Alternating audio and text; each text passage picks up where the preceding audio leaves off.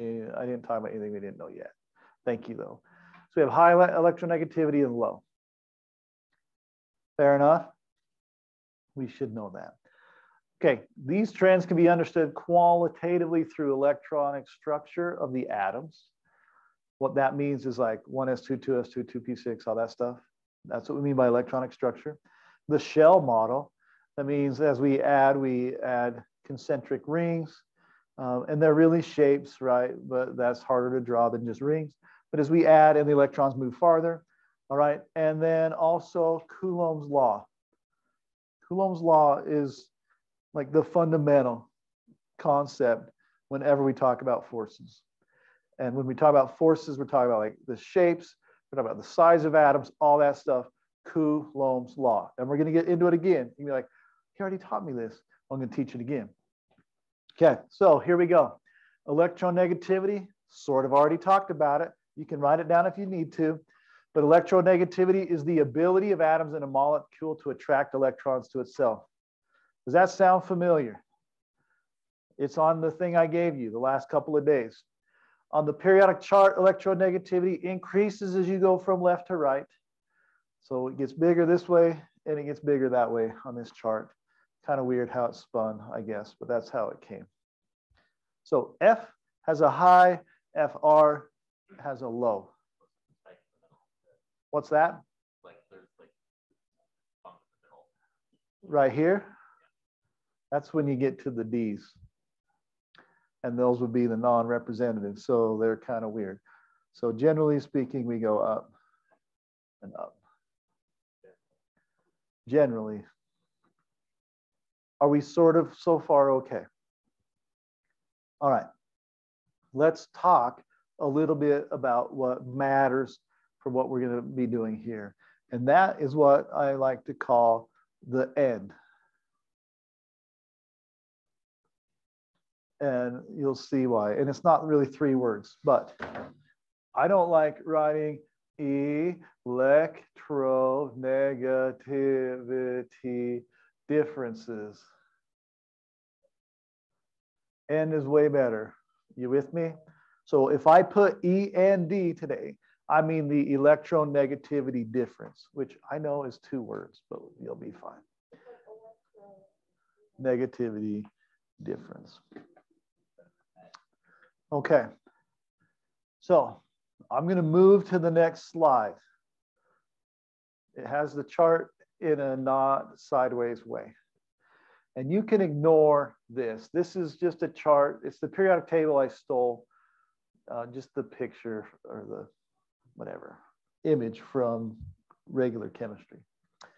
On this periodic chart, it shows just the representative elements, the S's and the P's, and ignores the D's. You okay with that? All right.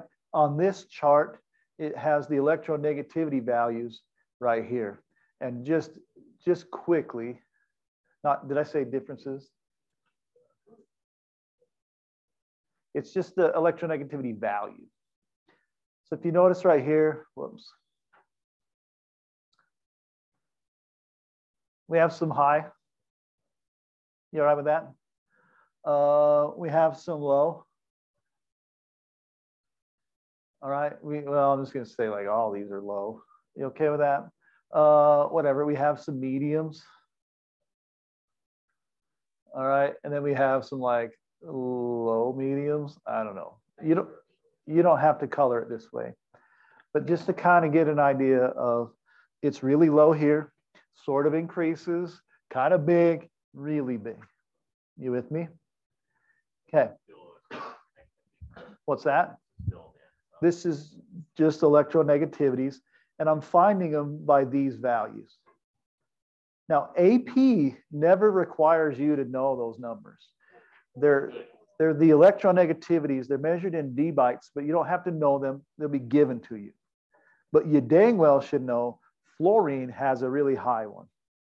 And you should know over here has a really low one. And then you should know atoms close together, their E and D would be small. Atoms far away from each other, their electronegativities would be large. You with me? Just the basics right now. Just the basics.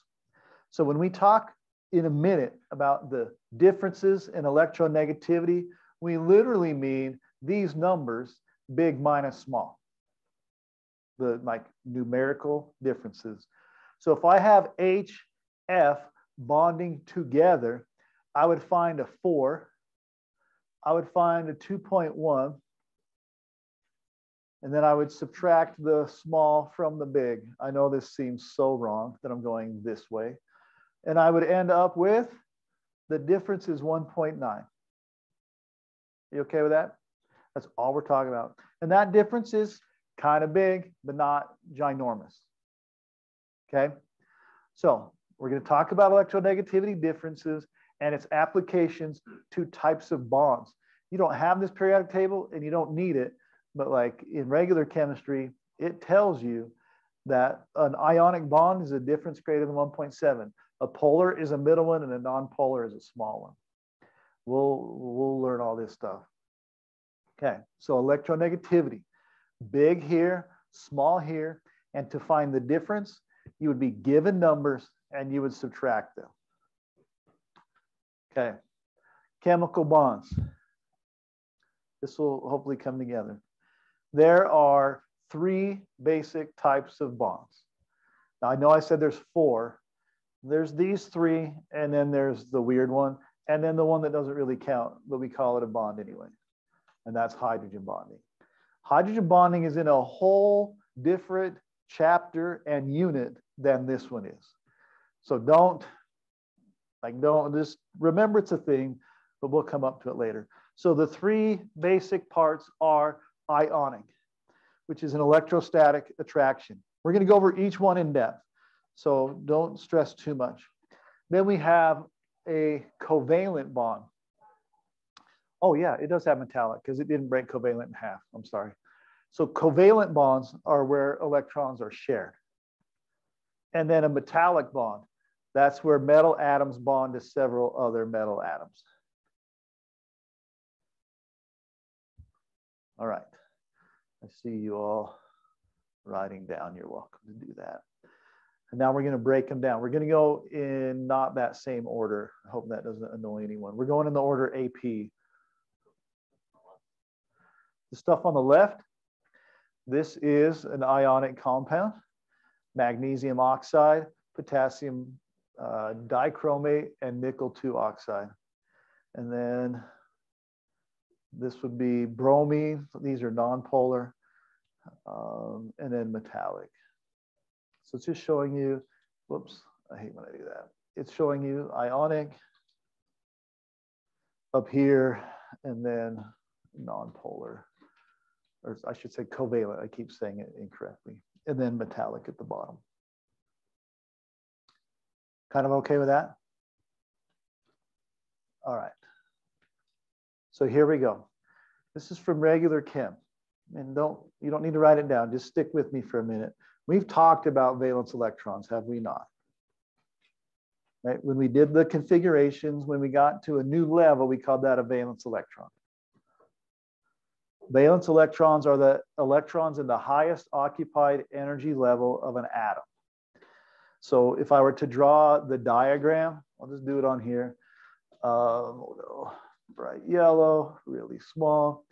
If I had Na, so I'd have my boxes, and I would fill them up. One, two, three, four, five, six, seven, eight, nine, 10, 11. I'd have 1s, 2s, 2p, 3s. Anywhere where I complete the noble gas, so this is neon, right? anything above the previous noble gas is the valence electron. When we drew the short configurations, we were accounting for the valence electrons. Does that sound familiar? All right. So valence electrons are the electrons in the highest occupied energy level. Now, if I had 3p, and let's say I had one, two, three, Tell your partner how many valence electrons I have now in this. I hear silence. Well, I just suddenly got super boring. I have, huh? I need a story. I don't have time for stories. okay, if you think it's three, hold up your hand. If you think it's five, hold up your hand. Okay, the answer is five. To listen, to determine valence electrons, you go to the previous noble gas, and it's everything after that. So it's the two in the S and the three here. This atom is phosphorus, right? You can also find the valence electrons by saying in row three, it's one, two, three, four, five over. You can do that. There's also an easiest way to do it. What family is phosphorus in? Family five. The valence electrons are equal to the family. Now, all of this is for the representative elements again, which is S and P's, but it's really simple the number of valence electrons is equal to the family number. Are we okay with that? The number of valence electrons is equal to the family number. So Na had how many valence electrons? It had one, which I'm going to draw as a dot. And this is tomorrow, the dots. Phosphorus has how many valence electrons? It has five. One, two, three, four, five. Now, I know I drew that in a weird way. I went one, two, three, four, five. Look at me for a second. When I got to the third row, I went one, two together, and then separate, separate, separate. One, two, three, four, five. One, two, three, four, five. Question? Yep, it's the same as the boxes. Now we'll go over this pretty quick tomorrow and then say it's kind of like this, but yada, yada, whatever. All right, but valence electrons, the outermost. So here we go. You got to raise your hands here. Show me how many valence electrons anything in family one has. Ready, go. One. How many in family two? Two. Be careful. How many in family five? Five, not three. Yeah. How many in eight? Eight. That's the easiest thing ever, right? What's that? It will never be zero. Now you're like, family eight is full. Does it have any? Does it have all of them? That's a debate forever. All right. It's like whether the dress was whatever or whatever two colors. That's the same. It's a freaking dress. All right. Okay. Here we go. The next slide is super important. If we combine what we know about electronegativity and we know what we know about the octet rule, then we're ready to do science. So I have a question. Musician, how many notes in an octet? Eight. All right. How many people are in an octet? How many people are in an octet? Eight. Eight. How many sides of an octagon? Eight. Eight. How many legs on an octopus? Eight. What month is October? Tenth one. Oh. The eighth month. No, it's not. It's so stupid. I don't know why. But but the but oct means eight, right? Look here. The octet rule says that atoms react by changing the number of electrons so as to acquire the stable electron structure of a noble gas. What family are the noble gases in? Eight. So all atoms pretty much want eight or zero, which means they have eight in the lower shell, valence electrons. Now there is an exception. What atom is in family eight but doesn't actually have eight electrons? Helium. It only needs two to fill its octet. You okay with that? And we mean octet is eight usually, or to become like family eight. So hydrogen, not going to gain seven. It only needs to gain one to become an octet. Yes. You sure can.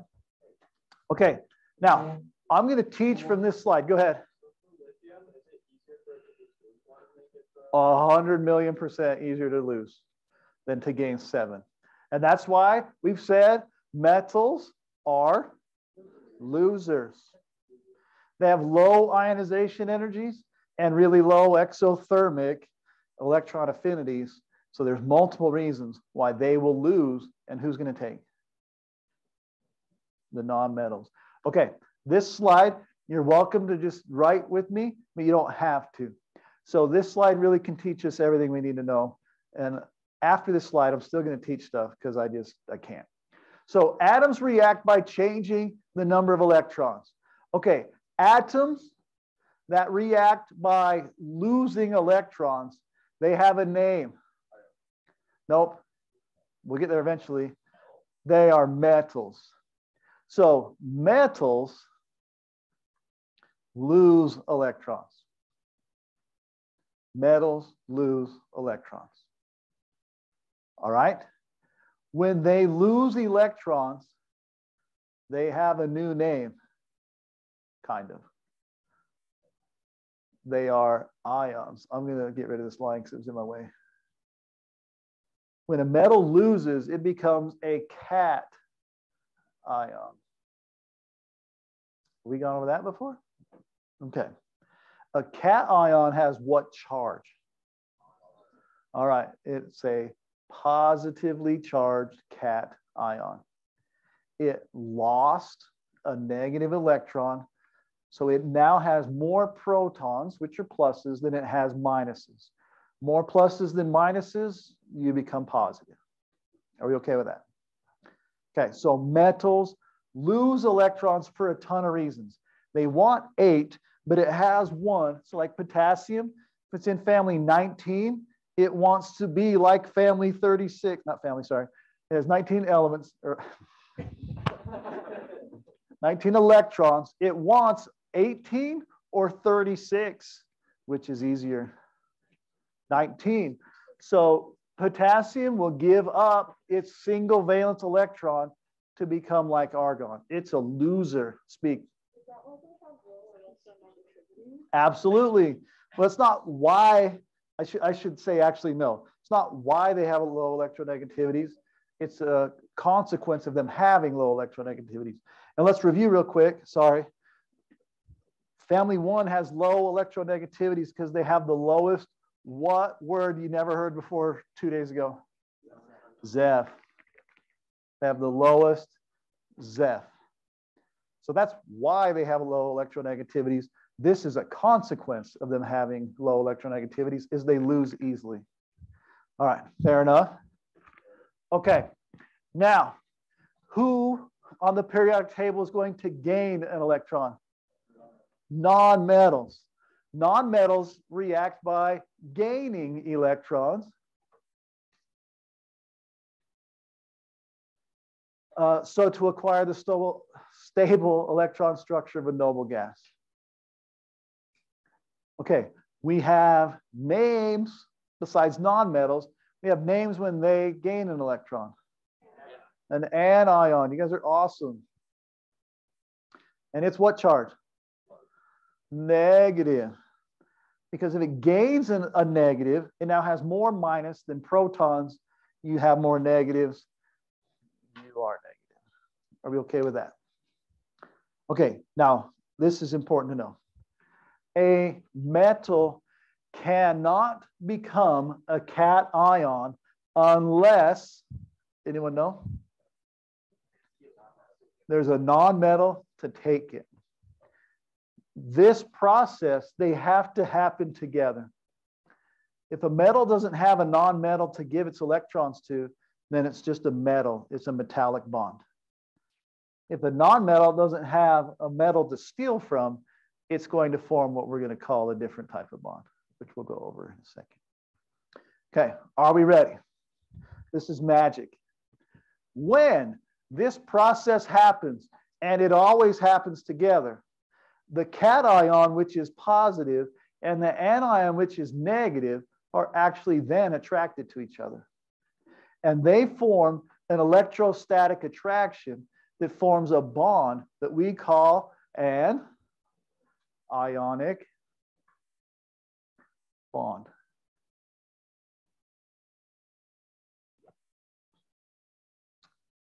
for all intents and purposes, which is chemistry for saying not all the time, but most of the time.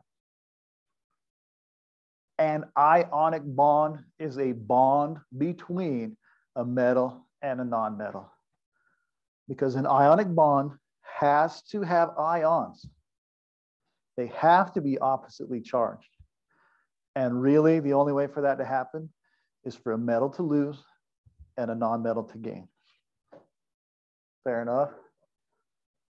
All right, so that is the like nuts and bolts of an ionic bond.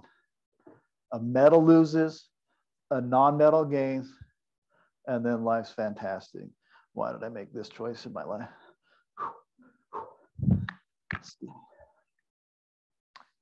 Um, okay. Feel okay about that? Okay, I want to emphasize something real quick here. A lot of you gave me a Mountain Dew for my birthday, correct? Did any of you expect to share that bottle with me? No, that'd be weird. You show up from 7 Eleven, you're like, here's the Mountain Dew, and it has two straws in it. That doesn't happen, right? When you give someone a Christmas or a birthday present, you used to have it, and now you give it. Is it yours anymore? No. Are you sharing it then? No, you're not. Be really careful here. So, in an ionic bond, I need you to really know this. They do not share electrons. The metal completely loses, the nonmetal completely takes, and then they're both happy. But there's not a shared electron. So the only reason they hang out together is because they're oppositely charged, not because they're sharing a pair of electrons. That's why they're super strong bonds, but you put them in water and they just fall apart. Exactly. Because they're not sharing electrons, they're electrostatically attracted. So if I give them something else more attractive, well, they're out. Go.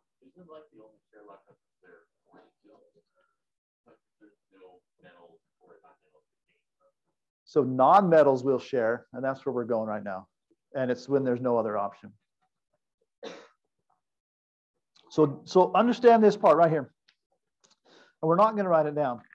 But no non-metal wants to share. Like most of you, unless you're just built different, you didn't want to share a room with your sibling.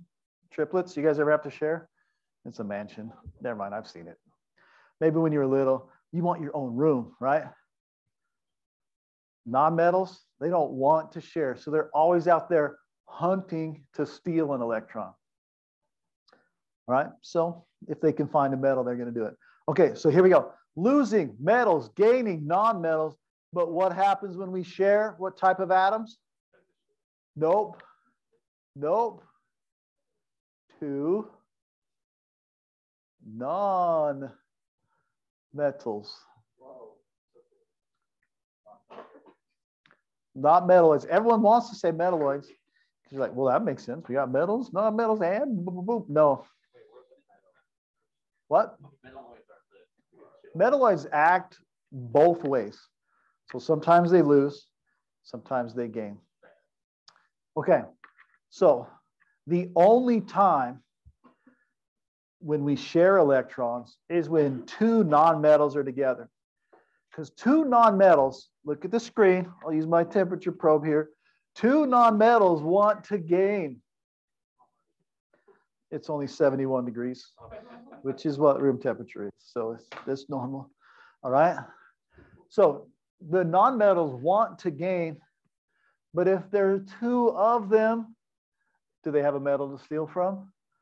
No. So their only option is to share electrons so that they can both gain.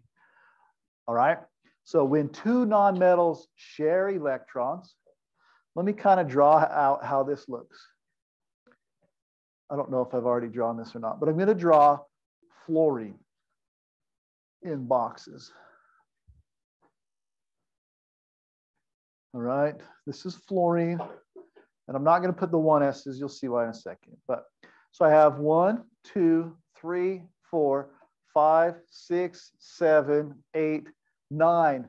If it could just fill this one, it would be like a noble gas, but it can't because it doesn't have a metal to steal from. It would love to, because remember, who's the hottest of them all? Thank you. And second is fluorine. All right. Really, it was my wife, if you paid any attention. Um, all right, here we go. I'm going to group that. I would, I would probably hurt you. Okay, so here we go. Here are two fluorine atoms, right? And they're both unhappy. They would love to go find a metal, but there isn't one. But they're very unstable. So they make a mutual agreement and they say, all right, let's do this. If we just share our outer electron, then we'll both feel happy. What type of bond is this? Look at me. Look at me. What did we call these outer electrons?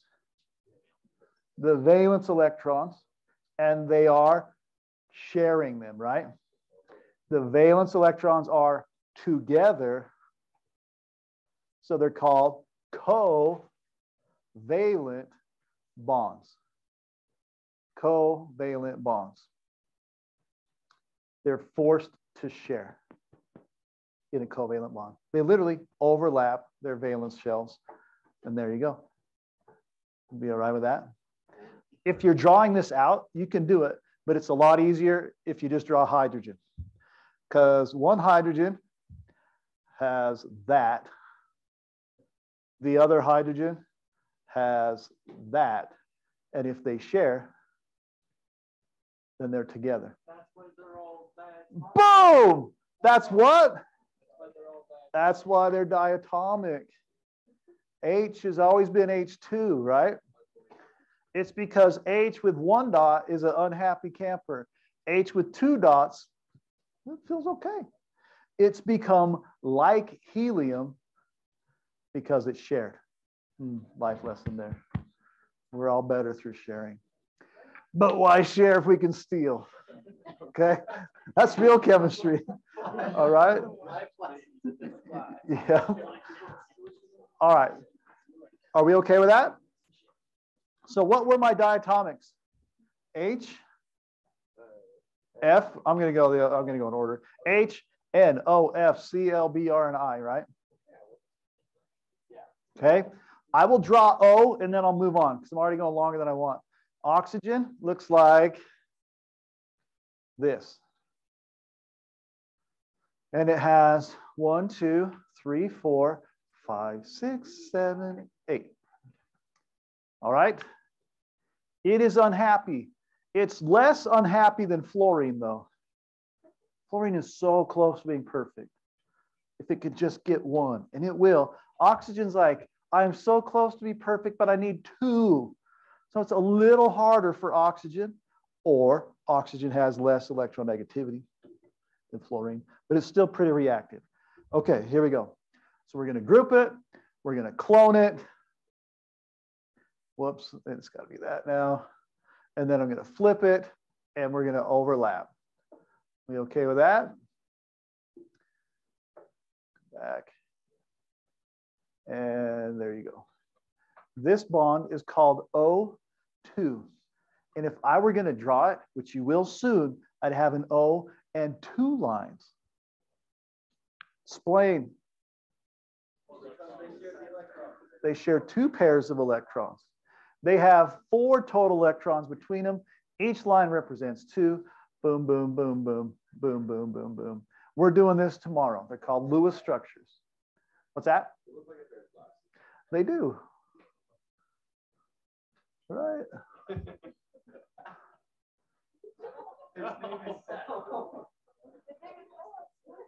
There's Zeff. I like it. All right, so far, pretty okay. Covalent bonds share. Easy enough. Coming back. All right. Sorry if you were taking a picture or whatever. So we had covalent. Wait, go back to the. Davis needs a picture of it. Go in there. YouTube. Oh yeah.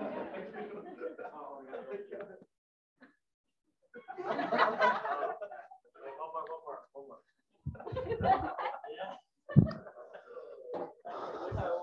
I look good from both sides. He doesn't have the best The fluorine. Okay. Are we all right? Okay, coming back. I want to stress something. Am I am I at white now? Yep, I am. Here we go. Covalent. Uh, they do share. Ionic, Mm-mm, never, ever, ever, ever sharing. One goes from one place to the other. Covalent, they don't have anything better to do. So like, oh, this is share and hang out. All right. Now, I want to say something. It's not on the test, but make sure you know when it achieves an octet, it becomes like a noble gas. It does not become a noble gas. That require change in protons. Okay, so far so good. Are we out of here? Oh, only 10 minutes? Oh, I'm screwed. Okay, here we go. I said all this jazz, but we're back to covalent. All right, so I taught it once. We're going to teach it again, and then we're going to summarize it. That's the goal, but I got 10 minutes left. All right, in covalent bonds, atoms are shared because, or sorry, electrons are shared because both atoms have to gain because both atoms are non-metals. All right, in a covalent bond, there are a lot of uh, static, electrostatic interactions. You have the attractions between the minuses and the positives and the repulsions of the minus to minus and the plus to plus. It's weird. It's just a hot mess in there. Okay? Don't stress a ton about that yet. Yes. Wait, so like what in what scenario is that happening? There's like the positive and the negative, so that we have not talked about a positive like polar molecule for this bond. This is hydrogen, bonded to hydrogen. Wait, then why are there four? For what? There's two, two protons, two electrons. Why are they so big? Don't worry about It, it doesn't really matter. But here is the fuzz that represents H2. That's the fuzz that represents H2. The electrons are found probably pretty close, probably in the middle. They could be here, but most likely they're here. Okay. Now, non-polar. So you will recall just two minutes ago, I talked about ionic and covalent, right? This says nonpolar covalent. So we would know first off, are they sharing? Thank you. The, the deepest voice is wrong. That's a rough day. the answer is yes, they're sharing because covalents share. Oh, sideways. They share. Now, non-polar. Okay. Anyone ever heard of the North Pole and the South Pole? All right. They divide our planet into halves, right? This is the axis. This is the equator. I know not drawn to scale, but polar, have I said this before? Polar means two-sided. I have said that. Okay, yesterday. Polar means two-sided. So here we go. If it says non-polar, it means non, not two-sided. It has no sides. And what we mean by sides here, there's no defined minus or plus side. So here we go. Valence electrons, valence electrons shared between atoms of similar electronegativity. So another way to put this is that their E and D is small. their electronegativity difference is small. Coming back to wrap that into what we were talking about.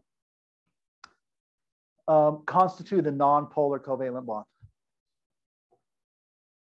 Okay, I'm sure that my TA is pretty strong, but if we were going to fight over something right here and we were going to pull, fat man's going to win, right?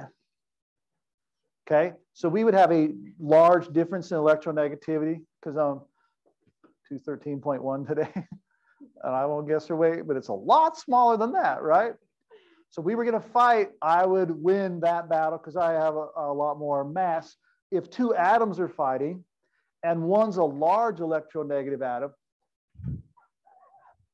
and one's a small, it's just going to take it, right? But now we're sharing. Now we're sharing, which if we're sharing, we're only in what part of the periodic table? Over here, right? There's not a ton that share. Most of the periodic table is not or is metals. And then there's noble gases. And then there's just these weirdies that share. Okay, you with me, sort of? So when they share, if, one second, if they're differences are small, 2.5 and 2.1, the difference is 0.4, we're going to call it nonpolar because neither one pulls very hard. It would be Amber fighting herself. Like, oh, oh it doesn't go anywhere. Okay, go. Like fluorine, fluorine, like would they be able to bond to each other, or would that just be weird not It's not a very happy relationship. Uh, but it like could happen, but it's just not, no, it doesn't want to happen. Okay. But it could, sure. They could share a pair and live unhappily ever after.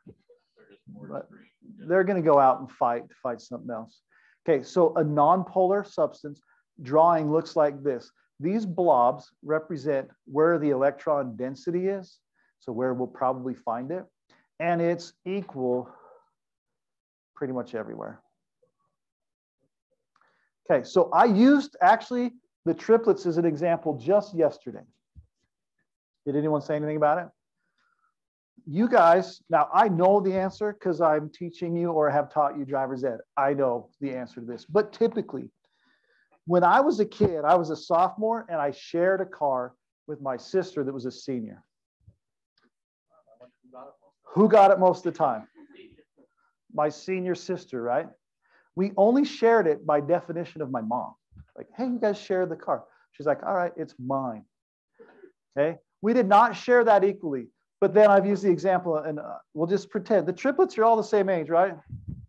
Within an hour, a couple hours. Okay.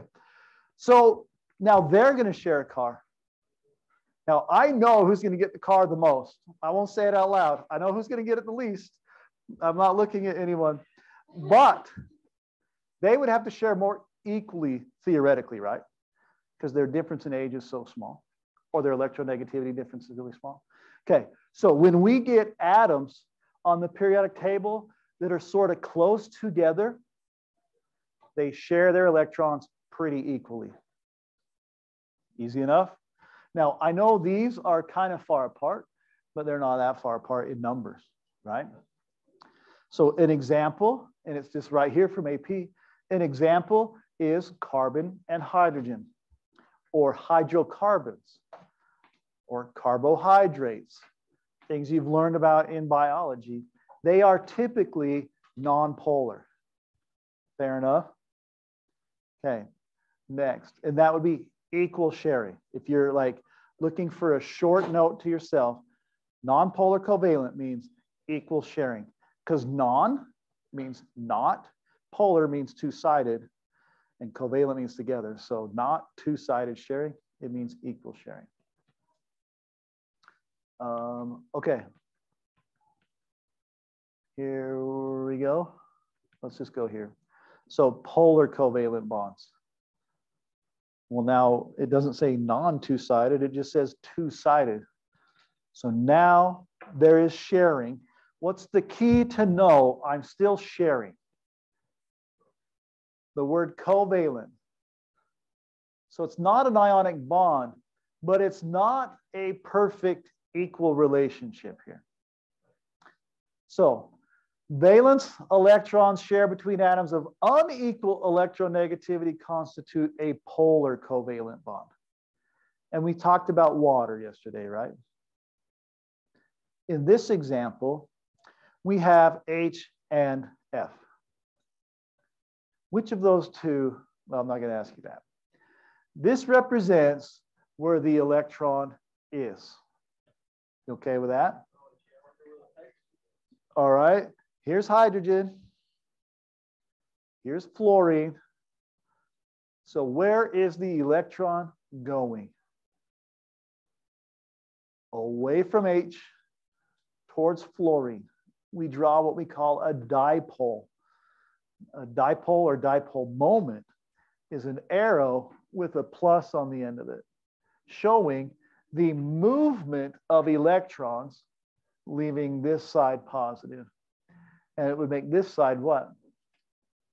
Negative. So we'd have a partial positive, a partial negative, or we'd have a two-sided molecule or a polar molecule. It's a strain sharing. It's definitely unequal. It's when I shared a car with my sister. I got it one day out of 180 days. That's not 90 and 90. That's way less. Do you share your car with Adelaide? Oh, my spoiled. What in the world? Do you share your car with your little sister? Oh my, you guys are too nice. My sister was not nice. I'm not too nice. My parents are too nice. Your parents are too nice. That's true. All right, I didn't get, I got most of what I wanted done today. Not as much. We'll be okay.